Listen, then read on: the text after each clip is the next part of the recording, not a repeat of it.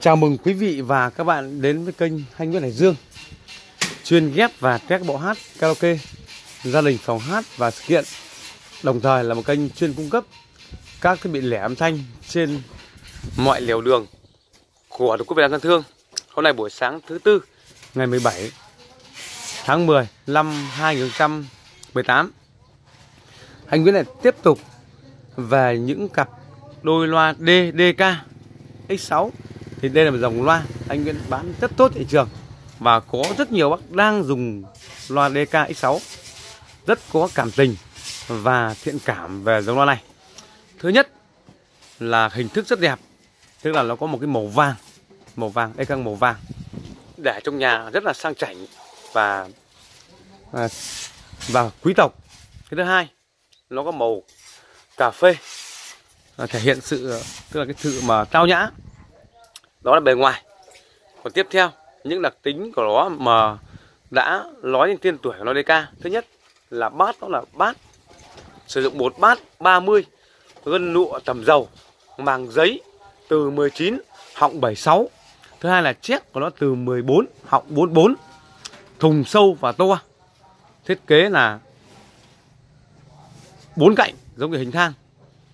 Thùng sâu mà nó rất nặng cho nên là tiếng nó ấm uy lực. Thể tích lớn nhưng mà là tiếng trống nó cũng lớn. Mạnh. Dòng này nó, thứ hai nữa là cái giá nó rất là phù hợp với anh em làm âm thanh và yêu hát. Cái dòng này có thể các bác, một gia đình ấy, với diện tích phòng 30 đến 40 vuông. Bác có thể dùng một đôi này để hát karaoke cũng như nghe nhạc.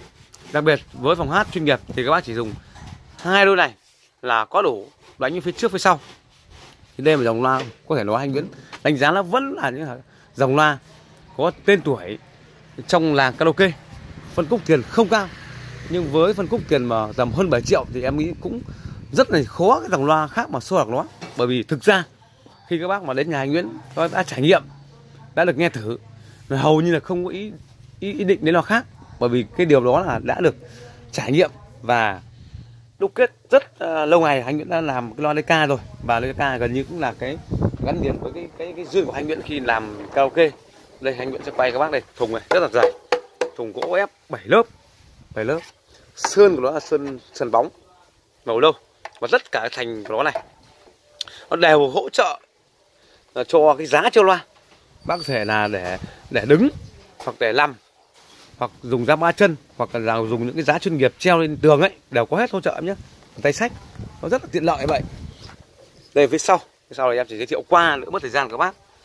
Dòng là DDK X6 công suất tối thiểu nó là triệu đòn là 330W và lớn nhất là 660W nội trở 5 ôm.